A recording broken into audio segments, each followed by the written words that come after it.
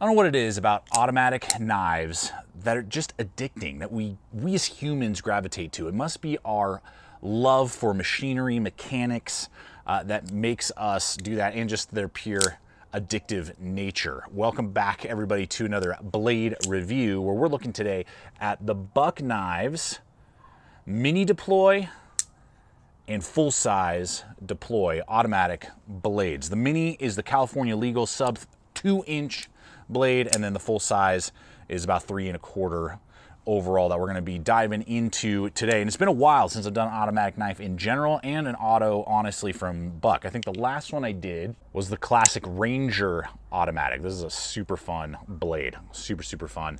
I'd love to see their new uh, Sport Hunter uh, with pocket clip and micarta and aluminum. I'd love to see that in an auto at some point would be pretty dope. But today we are gonna be looking at these two and running in some competitive options, seeing what is available, what these tools can do, what makes sense, maybe what doesn't, as we dive into these new for 2022 autos from Buck. Let's jump right in with the blades. Now, the blades are gonna be both made out of 154 CM steel, American made steel with the Bos heat treat you know anything about Buck, you know, their heat trees, they seem to be able to get some of the best capabilities out of whatever steel they get their hands on. Now, fun little history for you on 154 CM. Uh, it was originally produced in 1959 as a hardened ball bearing steel, I believe, for the aircraft industry, and wasn't used in knife manufacturing until 1972 when some knife designers started using it in their custom blades. And now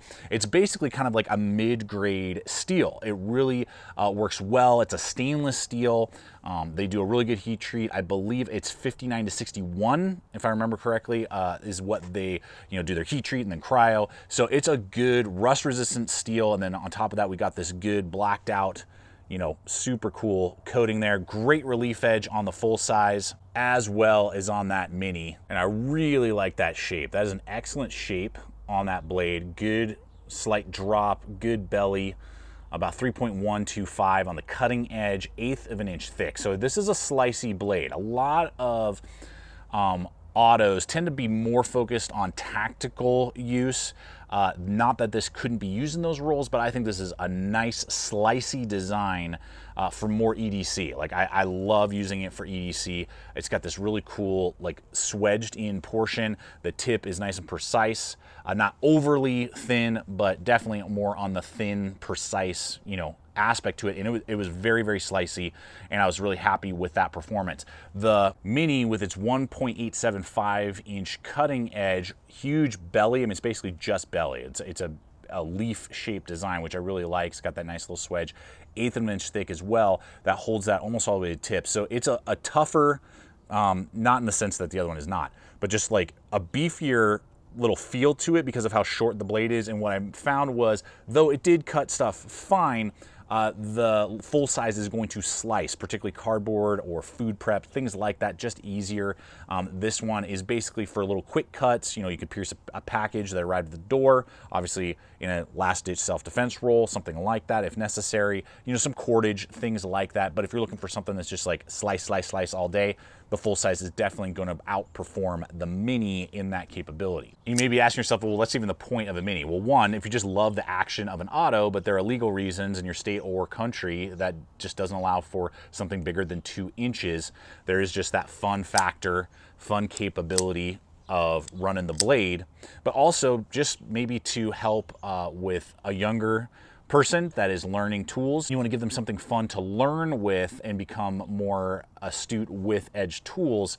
Uh, this is a great option to get them started with that uh, or you know just um, someone with smaller hands. My wife loves this kind of size just for general utility, small things that she would do around the house or property. So how about that auto action, right? I mean, that's the whole point of getting a knife like this is you wanna know how that auto action is. Well, on the full size, you're gonna get this nice highlighted red button as well as red safety. Now, what I really like about this is that the button, when closed, is just a hair above the handle scale body as well as the safety. It's just a hair above, so you can still engage it, but it's really, the safety is recessed in there. You move it back and forth. You know, red is dead.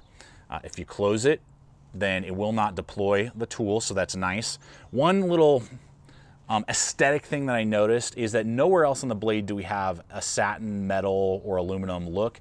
I would have liked to have that when it's on safe mode blacked out. That would have been nice. You know, when you move it over, we got red but it just kind of stood out a little bit as a little weird. It would have been nice to have that, you know, just full blacked out, then the whole blade matches. Not a big deal because I rarely put the safety on. So not the end of the world, just a little aesthetic thing I noticed. Uh, and then what's also cool is when you deploy the blade, if you activate the safety, the button will not depress and therefore you cannot close the blade accidentally. So a little cool feature there that's with most autos uh, function and operate that way. And so I appreciate the recessed safety as well as the just slightly protruding button.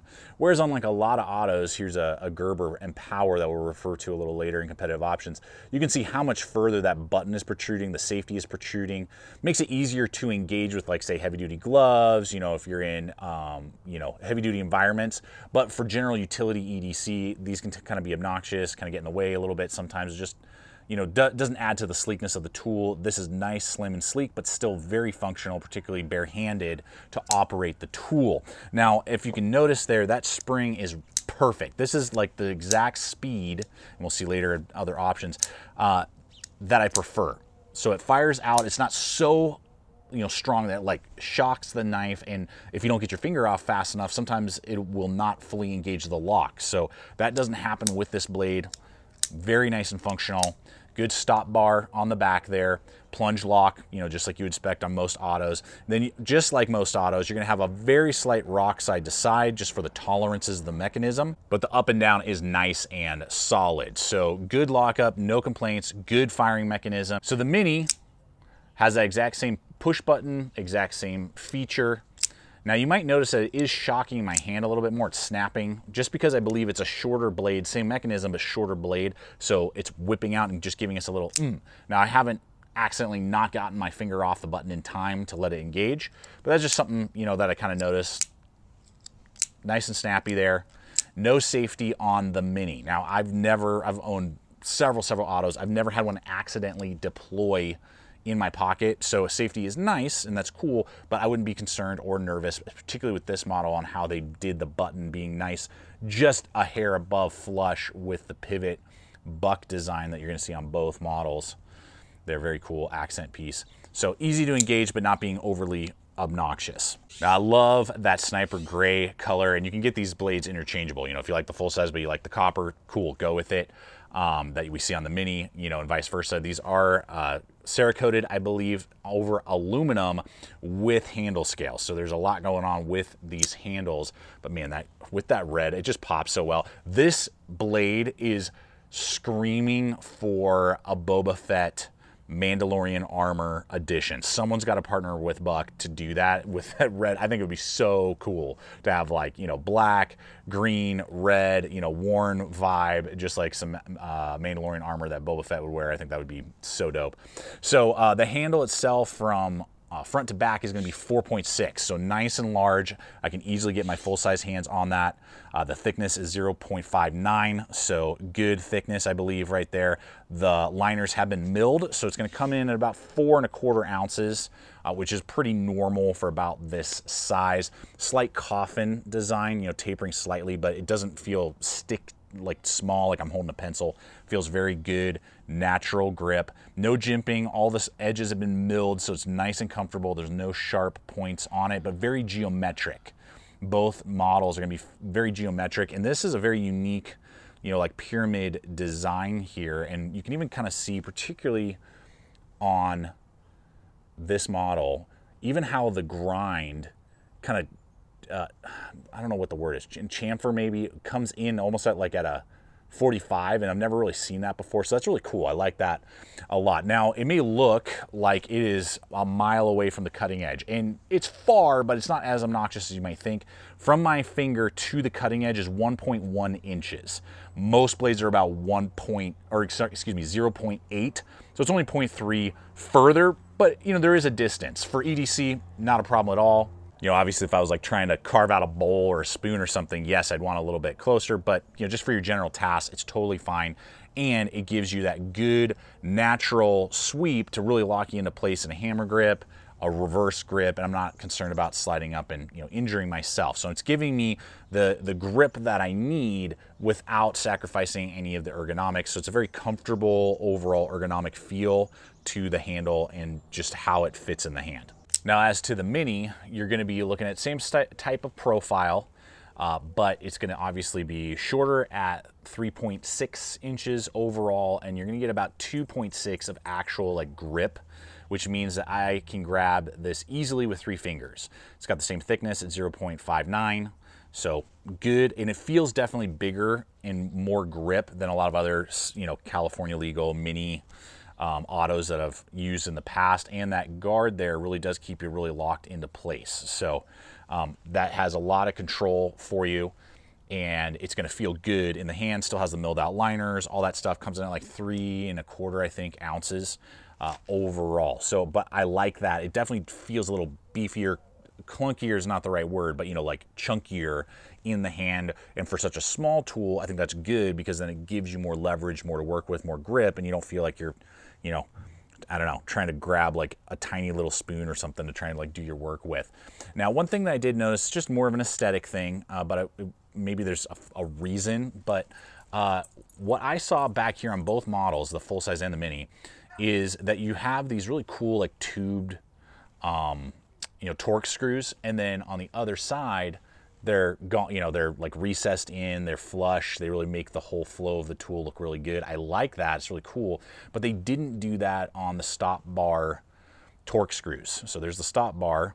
It's just a normal Torx screw. It's not like this kind of like i don't know barreled design over here and you know the screws are um, exposed on either side. I don't know if that's literally like a function that these bolts don't function up here properly, but if that had just flowed, that would have been awesome. So just a little, another aesthetic aspect that I noticed uh, with both models that would have been cool to see flow through the whole design. I'd love to hear your guys' thoughts. Which color currently do you like more? Do you like the copper? Do you like the sniper gray? Which one connects with you just on a visual level. Now these pocket clips are ambidextrous loop over pocket clips, tip up only, which is all great. I have zero issues there. It's blacked out. They're not super huge obnoxious, very low um, styling, you know, on the uh, Buck logo right there. Love all of that. Uh, you just have these two Torx screws on the top. This is similar to some of Buck's other designs. You just unscrew them and flip them right or left. So that's pretty sweet. The one aspect that I did see with the full size is you can see that the, they are not the same pocket clip. The Mini does have a smaller pocket clip and the flare is slightly less. It's, I would say the flare on the Mini is perfect. The flare on the full size is a little obnoxious. Um, you can you know grab all your you know pants and things like that. Doesn't really cause too much of a hotspot ergonomically, but it just protrudes more than I would like. I've definitely had a snag on one or two things. I mean that's a car scraper for sure. I will end up unscrewing this and like slightly bending it down just a hair. So not the end of the world. It's just a little data point for you that that's a pretty big flare, and the Mini's flare is like perfect. This one's a little over the top for my taste. So what about price? What are these running for? Street value, you're gonna throw down your hard-earned money. What do these run for? And what are some competitive options? Just give you some food for thought when you are making that decision. Now, these guys are gonna go for the full size, about 165 bucks on average, give or take. So 165, 64, you know, right around there. And then the mini is going to be like 134, 135, something like that. Now for USA made, you know, quality, the forever warranty that Buck offers, all that, that's, you know, really kind of middle of the line of pricing that you'll see for US autos. There's some that are like 200 bucks. There are some that are significantly cheaper, and so you just have to make that choice. Two options for your consideration just on the full size is obviously going back to that Empower by Gerber, um, American made as well. S30V steel, which we would argue is a better steel than 154CM. It'll hold its edge a little bit longer, a little bit tougher to resharpen, not as easy to get a fine edge on as um, the 154. Very similar, I wouldn't say very similar the S30V uh, is going to be a better edge retention type of blade. But you'll notice that it's definitely, the Empower is uh, a lot thicker, kind of not as refined. The Buck definitely feels more refined. As we talked about earlier, the buttons and safety are much higher protruding. And this dagger blade, though good and pretty thin, um, just the way the, its ground is not anywhere near as slicey as on the buck. And as I was talking earlier, this thing is really snappy. And there are times where I, if I don't get my, yep, there we go. See the lock, uh, the lock is so fast, or excuse me, the, the action is so fast. If you don't get your finger off that button fast enough, um, it will not fully engage. So it's a little learning curve, not the end of the world. About 160 on average. So 160 for that model. And then just as another um, option here, we got the Kershaw Launch Series, USA made. Um, aluminum handle scales as well. A lot of them are ambidextrous. Most will not come with safeties at all, but the buttons are kind of nice and re recessed like the Bucks are. This one will have CPM 154. Um, now those are from the same company. The and honestly, you and me, the users, are not going to really see a difference. I've had several blades with both.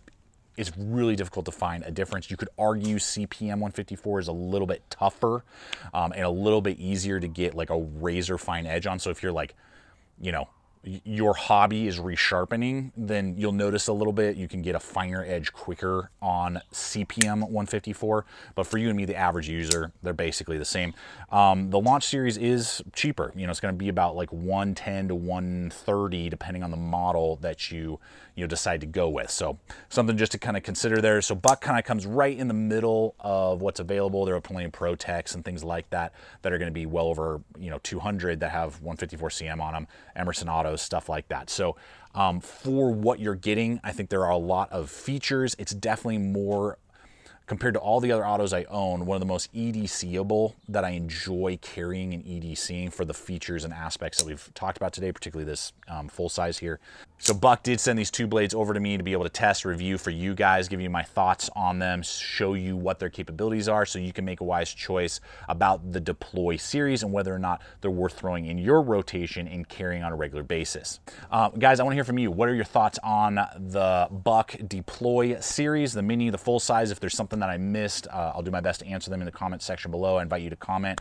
Uh, it always helps the algorithm, but also it's just fun to see your guys' thoughts and your take and you know have the discussion that we have here at Gideon's Tactical. I invite you to subscribe if you're not yet a subscriber and check out the other video. I'm throwing up content like this every single week. And until next time, always remember, stay equipped, stay prepared, and I'll see you out there.